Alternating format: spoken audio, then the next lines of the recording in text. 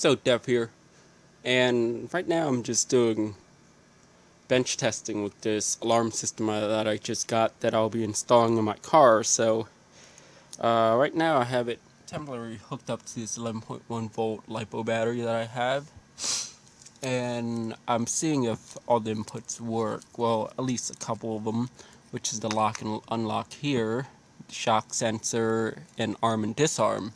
So I have a bulb hooked up to the parking light sensor or the parking light output see if that works. The siren is hooked up also. And I also have the shock sensor which you can see it's going off there.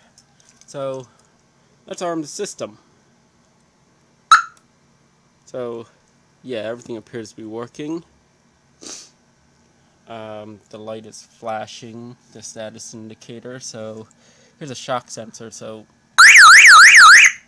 Oh yeah, that, that that's loud. Uh, I didn't think it would go off like that, so...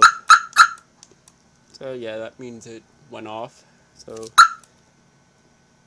System's locked. And... Unlock.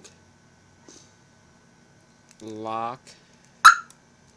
And there's a way to bypass the uh, shock sensor, which is to hit it twice, which, let's see if the shock sensor goes off.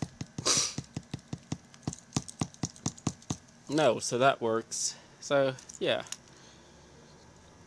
That's pretty much what I really want to see the functions for now with this alarm. I can't really test the other functions like the keyless entry while just sitting on the bench. I actually have it have it in the car, which I will do in another video. So, yeah, that's it for now.